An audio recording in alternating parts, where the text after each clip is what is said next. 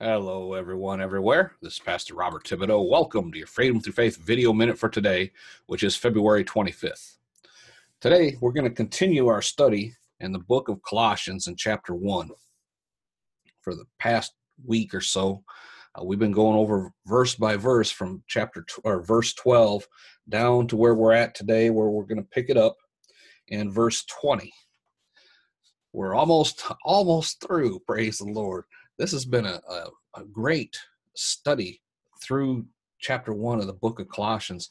If you missed any of this, you need to go back uh, six, seven days and watch these videos because there's been some great depth uh, in this study that the Lord has been revealing to us, and He's continuing to do so.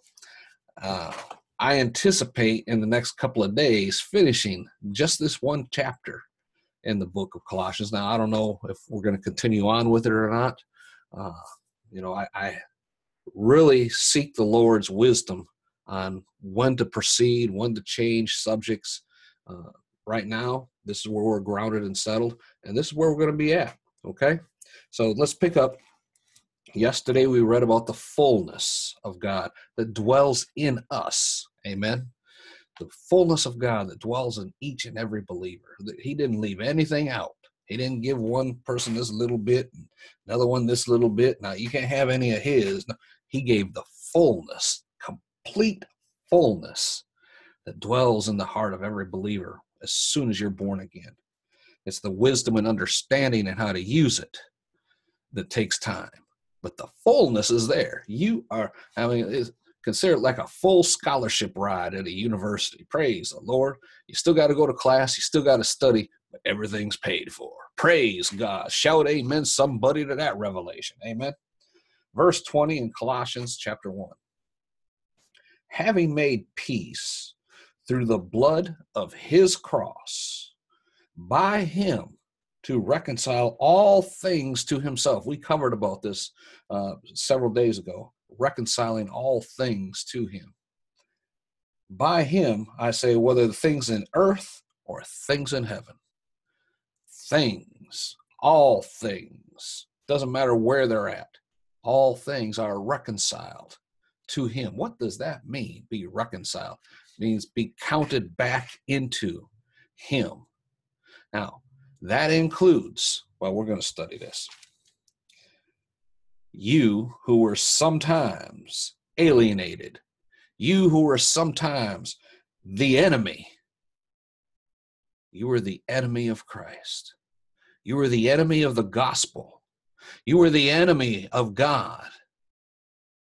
But He reconciled you back into Him you're reconciled back into the body of Christ, back into the, the family of God. You who were sometimes fighting it, you were running as hard and as fast as you could go to hell.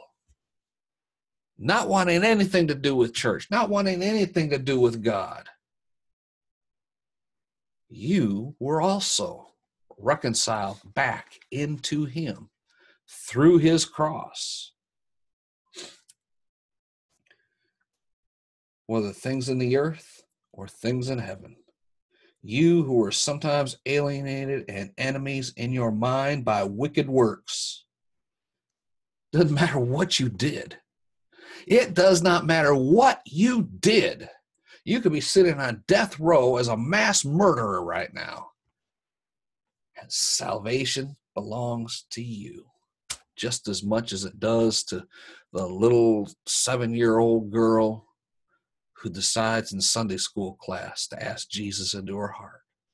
You, the mass murderer, sitting on death row, or maybe even getting away with murder, you have the same opportunity to be reconciled back into the family of God, or perhaps for the first time into the family of God.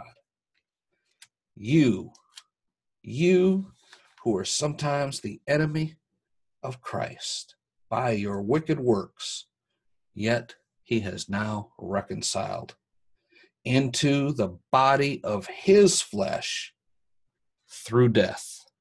He died for your sins. He died for my sins. He died for the sin, every sin, every sin ever committed in the earth, in the world. By he, Jesus died for every single wicked thought, every wicked imagination, every wicked act ever done, every sin. Every sin. There is no sin that is not covered by the blood. If it could be, if there could be one person that ever committed, now, Jesus died for Judas. Think about that. It is up to the individual to ask for forgiveness. But forgiveness is there. Forgiveness is right there knocking. Jesus said, I stand at the door and knock. It's right there. All you have to do is open the door. And Jesus said he will come in and sup and dine with you, and you have forgiveness. Oh, folks, I just cannot emphasize this enough. Not every person will be saved, unfortunately. But those who make the decision to be saved are saved. Now, there'll be some that say, nobody can make the decision to receive Jesus as their Savior. It's already been determined by God beforehand who His elect are. And this is absolutely true his elect. Praise God. His elect is the entire world. But not every person in the entire world will make the decision to become part of the elect. Not every person in the entire world will make the decision that they want to be part of the redeemed. They want to do their own thing. They think their way is the best way. They think that I don't want to be limited by what the Bible says. I want to be my own person. Uh, you be your own person for eternity in hell because Jesus died for you.